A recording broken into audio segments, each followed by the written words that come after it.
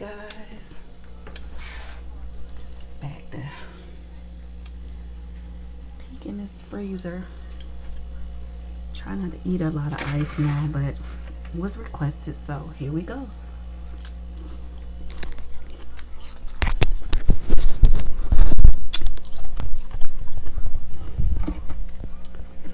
So much, don't know where to start.